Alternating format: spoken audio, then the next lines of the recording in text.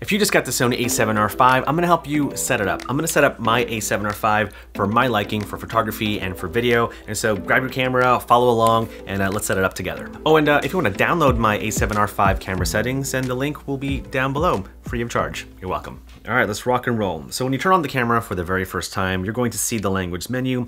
Obviously choose the language that you use. I'll be using English. Uh, you're gonna click on I understand. And then here is where you set your area, date, and time.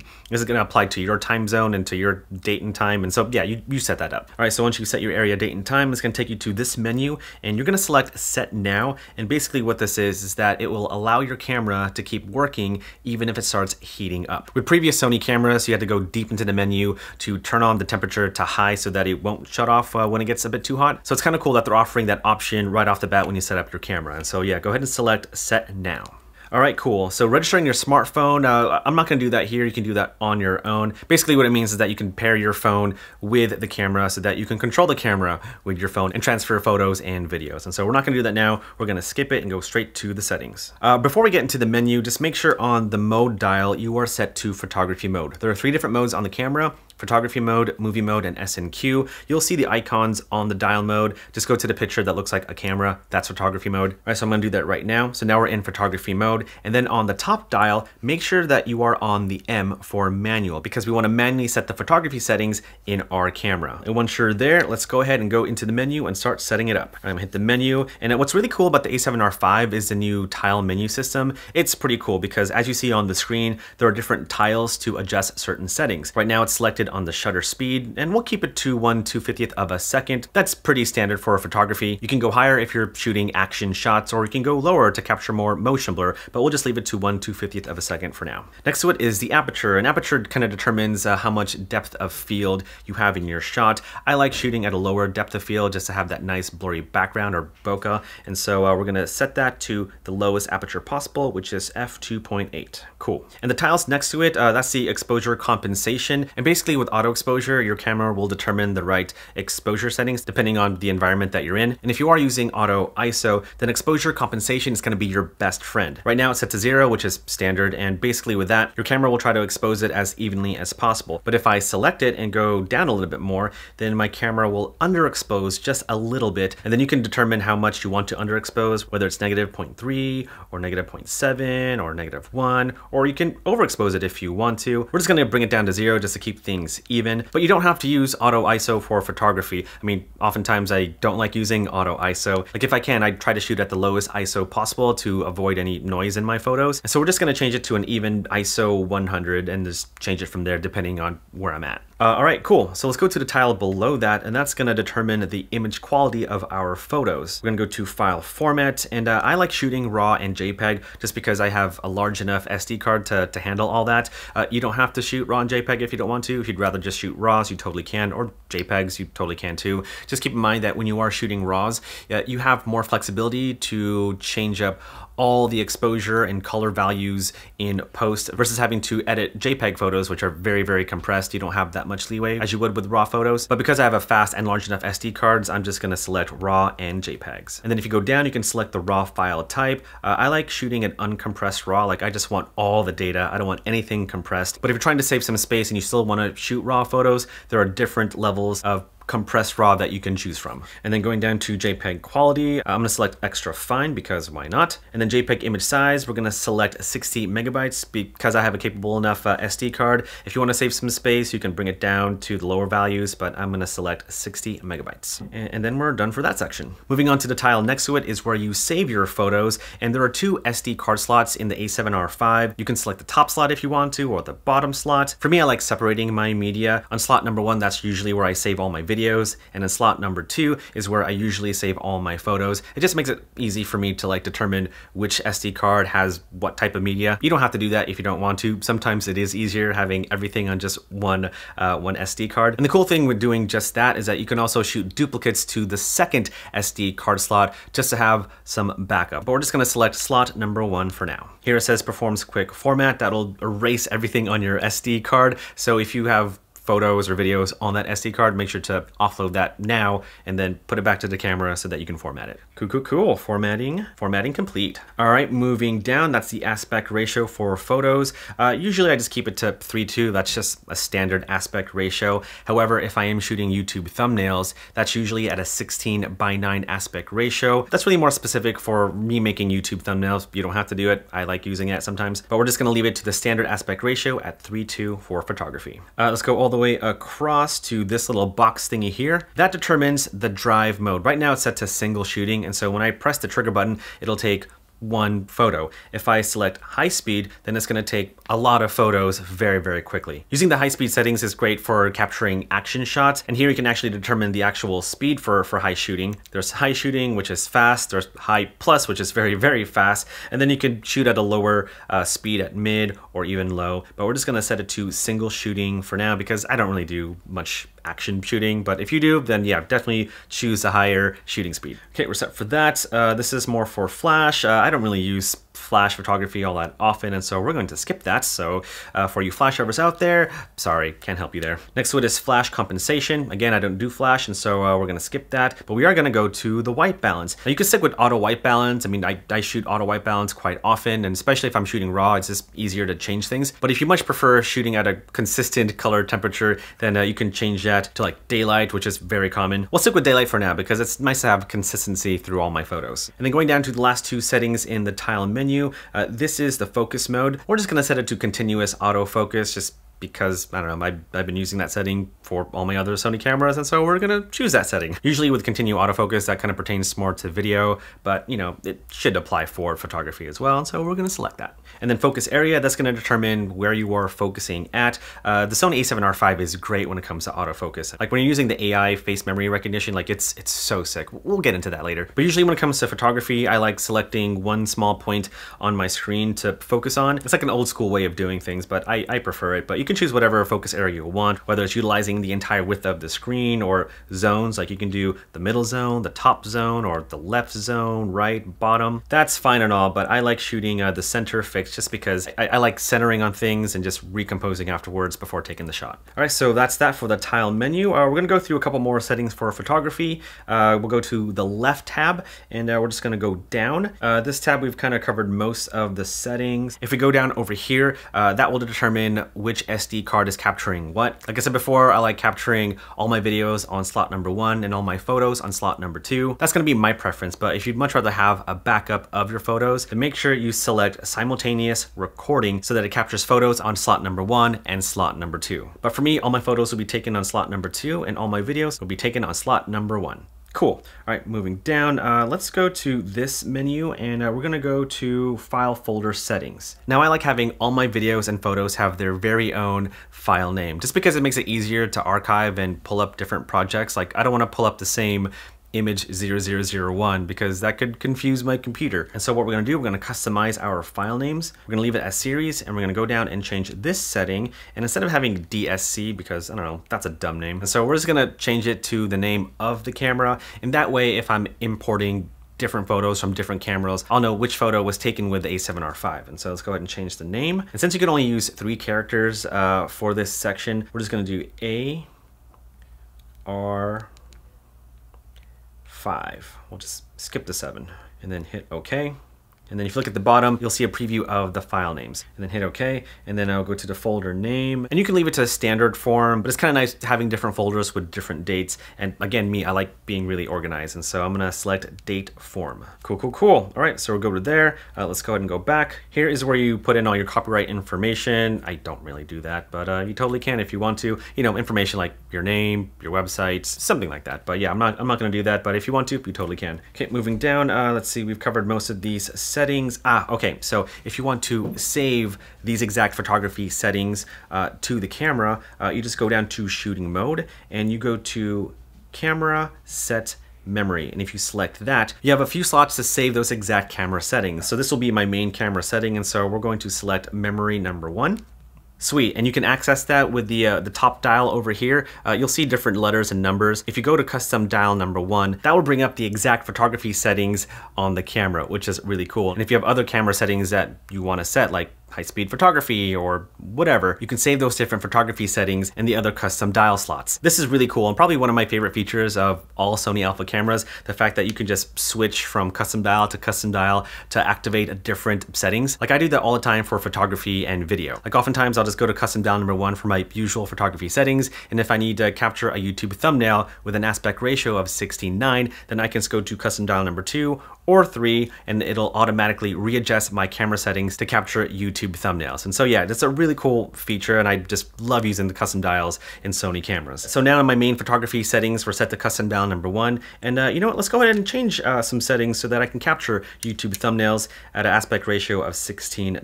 And so we're gonna go back into the menu, and we're gonna go to, oh, let's see, where is it? Ah, there it is, image quality. We're gonna go to aspect ratio. We're gonna change it to 16.9. I'll keep the other photography settings for now, that's totally fine. And then we're gonna go back a tab, go down to shooting mode, and we're going to save our YouTube thumbnail photography settings to custom dial number two. Sweet. So if I want to shoot YouTube thumbnails, I can just switch to custom dial number two. And if I want to go back to just plain old photography, I'll go to custom dial number one. And then let's see, anything else? I think I leave everything else the same for, uh, for photography. Uh, no main changes there. Quite happy with the default settings. And if you're looking for like a full explanation of the menu, sorry, I'm not going to explain. There's like so, so much information to unravel here. I'm just going to go through my specific settings. But for photography, I think that's pretty much all the, the settings that, uh, that I adjust on the camera. Yeah, everything I just leave to the default settings. Uh, I guess for this menu, uh, I guess one thing to, to go over is the subject recognition feature. Now the A7R5 has a dedicated AI processor to recognize specific skeletal movements like poses and all that stuff. It's, it's, it's crazy. Like you can see it more in video, like it'll track the eye very specifically because of that dedicated AI processor. Now there's one specific feature that I love with the subject recognition and that's the face memory feature and basically the camera can memorize a person's face and focus on that person the entire time you're shooting. It's very common in a lot of photography cameras but not common for video like at all. And so if you're shooting something like a wedding and you want to memorize the bride's face, then you just go down to this menu over here, go to face memory and click on the plus sign and you can take a photo of that person's face and now the camera will focus on that specific person the entire time. And you can select multiple subjects as well, like if you want to focus on other people, you can memorize multiple people and set the priority when it comes to autofocus of those other people, which is, it, it's totally cool. It's, it should be a whole video in itself. Like I can't explain it now, I'm just going through all the settings, but yeah, if you want to set all that up, yeah, this is, this is where you do it. Uh, uh, let's see, is that it? I think there's one more thing that I change in the menu settings. If you go to the toolbox tab, and then here is where you get to customize all the buttons of the camera. What's great is that you can customize buttons for photography and video separately, so that's pretty cool. So let's go ahead and quickly uh, go through all those custom settings. All right, so for the rear of the camera, I'm gonna change this to clear image zoom. Let's go to the zoom and select that. Go down, uh, I'm gonna change this to a, a, different setting. I like that button to, to trigger my autofocus, but instead of using AF on, I use the, the toggle option instead. That way, if I just press it once, I can shoot manually. And if I press it again, it'll go back to autofocus. Uh, going down, uh, white balance. There, um, I like using uh, the focus area feature for that button. Just makes it easy for me to select, you know, shooting the wide focus area or at the center or in zones. So we're gonna go here, focus area, and I'm gonna choose switch focus area. And that way I can cycle through all the focus area modes uh, very quickly. And then for this button, uh, I'm actually gonna select the uh, subject recognition. I'm actually gonna choose the, the face memory feature because I probably will be using that feature very often with the A7R5. There we go. And here for the trash button, I'm gonna customize it to, oh, I don't know. Uh, let's just select silent mode. There we go. All right, so that's good for there. Moving down uh, here, that's the joystick. I'm going to change that to uh, to something else. Uh, I'm going to actually change that to, uh, oh, actually, that's a cool option. Track recognition off toggle. So basically, if I've captured someone's face and I don't want to focus on that person anymore, I can just press the joystick button down to turn off that feature and I can focus on something else. Uh, let's see, the center dial. Uh, that's where I like having my my picture profile. For photography, I don't use any picture profiles at all, but if I wanted to, that's the button that I like like uh, using. So go down to color tone and you're gonna select a picture profile. And then uh, drive mode, I leave the same. Uh, let's see, ISO, I leave the same. The bottom, uh, I like using for white balance. So let's go ahead and do that. There we go. And then on the top, that's the button to record my videos. We'll leave that there. And then for this button, we're gonna actually choose APS-C or crop mode, just because it's just right there next to your fingers. Just makes it super easy to zoom in on a shot. So we're gonna go to the top menu, go to image quality, select APS-C, slash full frame. So now I can trigger going into APS-C mode or go into full frame mode with that button. And then the, the button on the lens, uh, let's see, I don't really use the button on the lens, but if I were to use it, I'd probably do the, that focus zoom feature, basically just focusing on a shot and just adjusting the focus that way. That will be my focus magnifier. Again, I don't really use the button on the lens all that often, and so you can customize the button to be whatever you want. And then lastly, uh, the dials. By default, uh, the front dial is to change the aperture, and the back dial is to change the shutter speed. I like reversing it because I come from a Canon background. I'm just used to that. And so we're just gonna swap that. I'm gonna select shutter speed and then the rear dial, we're gonna select aperture. And then for the corner dial, uh, I'll just leave that to exposure compensation. That's the standard setting for most Sony cameras. And so we're just gonna leave it to that. And then finally, the rear wheel on the direction pad, uh, we're gonna set that to change the ISO. There we go. And then here you can adjust uh, your video settings if you want to. I usually keep the same settings in photography mode for video mode. This makes it super easy for me to remember, and so we're just gonna skip all that. But yeah, if you wanna customize your very own video settings, then yeah, you can uh, do that there. And then uh, over here, the function menu, that's the quick menu that you can access by pressing the FN button on the rear of the camera. Uh, we're not gonna go over that at all. That's very subjective, and you can use whatever setting you wanna put in that function menu. I kinda like the default settings in the function menu anyway, and so yeah, we're gonna leave that, but you can change that if you want to. And I think that's uh, that's pretty much it. Okay, cool. Moving on to video. First go on the top dial and change it from photography mode to movie mode. And then you wanna make sure on the very top it's selected to M for manual. All right, so now we are in movie mode. We're gonna hit the menu button and we're gonna start from the very top. Go to main menu number one. And the first thing that we're gonna change is our frame rate. Uh, I like shooting at 24 frames per second. Some people like shooting in 30 frames per second, but you know, I'm more of a 24p kind of guy. And then whatever frame rate that you use, you wanna double that value for the shutter speed. Uh, over here, it says 1 250th of a second. Uh, that's going to result in very staticky looking motion blur. That's really good for like action sequences, but since we want normal looking motion blur, uh, we're just gonna change that to 1 50th of a second. And then going down, this is the ISO. That's gonna change depending on where you're filming, how bright it is, how dark it is, if you're shooting S-Log3, S-Log2, S-Cinetone. I'm just gonna leave it at ISO 100 right now and I can change it later. I like shooting in S-Cinetone with the A7R5. It's just the cameras look good straight out of the camera using S-Cinetone. Yeah, I could use S-Log3, but honestly, the A7S3 is probably the better camera to use if you want to shoot S-Log. But since I'll be mostly shooting S-Cinetone with the A7R5, I'm just gonna set the ISO to 100 and then change from there. Uh, going down, uh, this is the picture profile. Like I said before, I like shooting S-Cinetone. Uh, you're gonna find that in PP11 uh, down over here. Uh, if you wanna shoot S-Log3, that's gonna be PP8. And those are like the main two picture profiles that I use with most Sony cameras. Uh, again, with the A7S3, I often like shooting an S-Log3, but with other cameras like the A7 IV and the A7R5, I really like shooting in S-Cinetone. So we're gonna select PP11. And then next to it is the, the white balance. Uh, for all my videos, I like shooting in daylight. It's just, it just makes it really consistent uh, when I color grade later in post. Very rarely do I use auto white balance for video, but for, for the most part, like 99% of the time, I like shooting in daylight. And then moving down is the video file format. There are several options that you can choose from. Really, it kind of depends on how big your SD card is and how much your computer can handle compressed footage. If you want to save space on your SD card and you have a very capable computer, then you probably should shoot an H.265, which you can find in these two options over here. That's XAVC HS 8K or 4K. I'm currently editing with the M1 Max 14-inch MacBook Pro, and it can handle very compressed files like H.265, but just to make it easier on my computer, I like shooting in XAVC S4K. It's just a, a very well balanced file format, and if you don't want any compressed video files to work with at all, then you can choose either XAVC SI 4K or SI HD. But for me, I'm gonna choose XAVC S 4K. And then moving on to the next setting, that's gonna be your bitrate. Essentially, the higher the numbers and the more data there is in the video files, which is really good for color grading in post. And since I have a very capable SD card anyway, I'm gonna select the highest option, which is 140 megabytes per second, 422 10-bit video. Next setting, uh, that is the Gamma Assist display. That is more if you're shooting an S-Log3 or S-Log2. I'll turn that on because sometimes I'll use S-Log3 with the A7R5, maybe not as often as S-Cinetone, but since the Gamma Display Assist is set to auto, which is over there. Whenever the camera detects you shooting an S-Log3 or S-Log2, it'll automatically correct it on your display to show a Rec 709 image. And so with that, we'll just turn on Gamma Display Assist and leave it on auto. All right, moving on. All right, this is gonna be your audio record level settings. Uh, with most Sony cameras, I leave it to uh, audio record level 10. I just feel like it's a safe number to record audio regardless of what mic you're using. You could probably push it to 15 if you want to, but I find that audio record level 10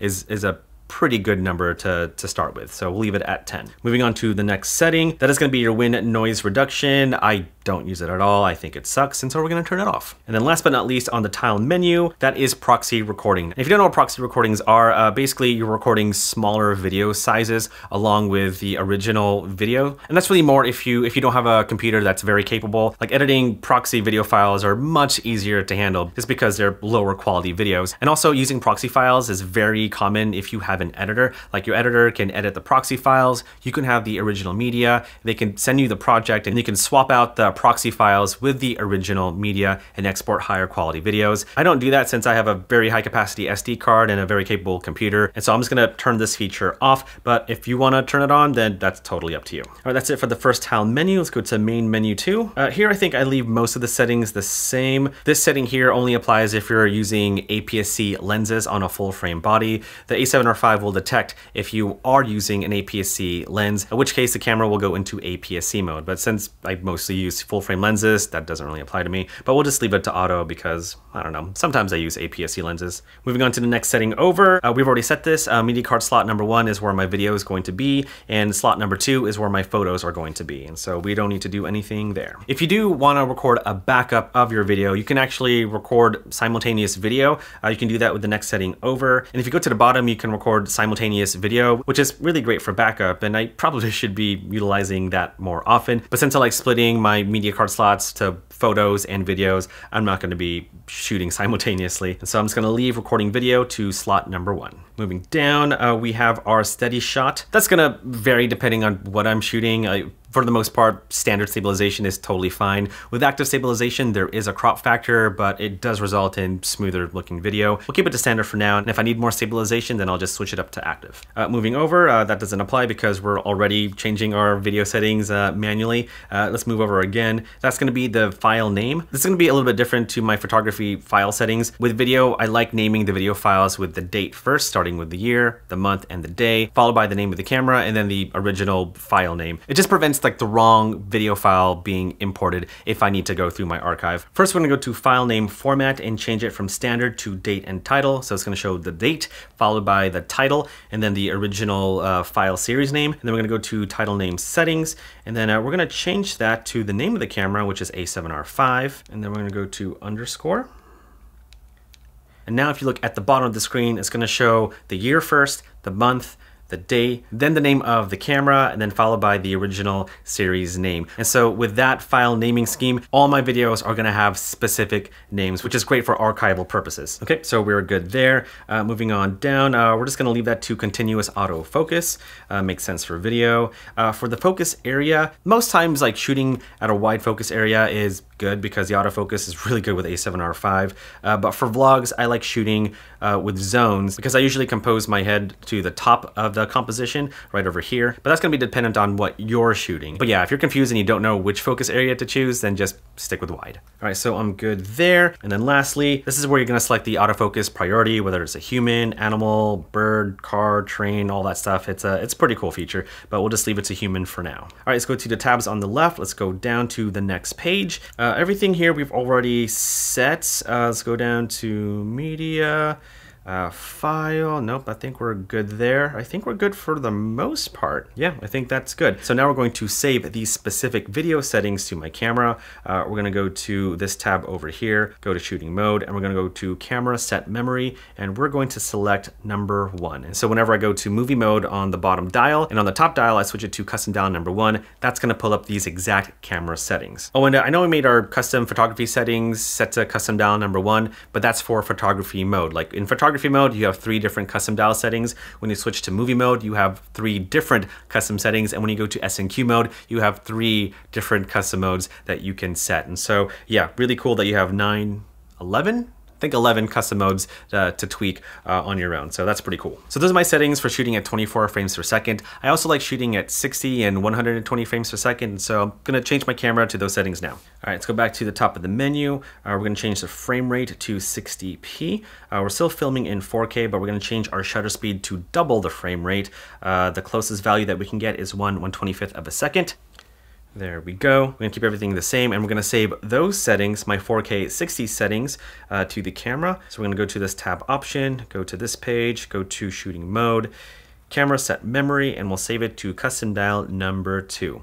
Very cool. And lastly, we're gonna change it so I can film 120 frames per second. You can't film 4K 120, only HD. And so uh, what we're gonna do is that we're gonna go down over here. We're gonna go to image quality, go to file format, and we're gonna change that to XAVCS HD. And then you're gonna go down to the movie settings and you're gonna select 120p and make sure that you're at the highest bitrate, which is that. You can also change it in the main tile menu right over here, same exact menu. And since we're filming at 120 frames per second, you wanna double that value in the shutter speed. And so double 120 is 240. There is no 240 uh, option here. And so we're gonna change it to the closest possible value, which is 1 250th of a second. And I think that's pretty much it. And so we're gonna save those settings uh, to the camera, go back to uh, the tab over here, go to this page, go to shooting mode, camera set memory. I'm gonna save that to custom dial number three. Cool, so those are my settings for slow motion. I also like shooting slow motion using S&Q, and so we're gonna change some settings in S&Q to film slow motion as well as time lapses. First things first, we're gonna switch to S&Q mode on the top dial, and then on the top, make sure that we're still on the M. First, I'm gonna go into the menu, and then we're gonna go over here to S&Q settings, and we're just gonna change the record frame rate to 24p because that's what our playback should be. Uh, the frame rate, uh, we'll just say, uh, let's just do 60 frames per second, and the highest bit rate, of course. Go back to the main tile menu, change our shutter speed to 1 125th of a second. There you go. And then we're gonna go back to the tab. We're gonna go to shooting mode and we're going to save those settings to custom dial number one. So that's 4K 60. Uh, let's change it to film in 120 frames per second. We're gonna go to image quality, go down to S&Q, keep the record frame rate the same. We're gonna change the frame rate to 120 FPS. Make sure that the highest bit rate is selected. Cool, cool. Go back to the main tile menu, change the shutter speed to double the frame rate, which is 1 250th of a second. Very cool. We're gonna save those settings, go back down to shooting mode and camera set memory to number two. And the last setting that we're going to adjust is our time lapse setting in S&Q. Uh, to do that, let's go back to S&Q settings. We're gonna choose two frames per second. Again, at the highest bit rate we're gonna go back to the main tile menu and uh, our shutter speed, we're gonna change that to about 1 8th of a second. Having a low shutter speed like that is just gonna allow for more motion blur. And if you really wanna be dramatic, you can go to 1 4th of a second. But I feel like 1 8th is, uh, is, is pretty good. And so we're gonna leave that there. And we're gonna save that setting, go down to shooting mode, camera, set memory, and save that to number three. So now if I wanna film 4K 60 in S&Q mode, I can go to custom dial number one. If I wanna film 120 frames per second in S&Q, I can go to custom dial number two. And if I wanna film time lapses, I can go to custom dial number three in S&Q. And I, I, think that's pretty much it. Those are my settings for the Sony a7R5 for photo, video, and S&Q. I know that was a super long setup guide, but hopefully this was helpful to you. If you have any other questions about the camera, let me know in the comments below. Also, if you wanna download my a7R5 camera settings, the link to that will be down below, free of charge. But other than that, ladies and gents, that's the video. Thanks for hanging out with me. Much love to you all, and I'll see you in the next one. Peace.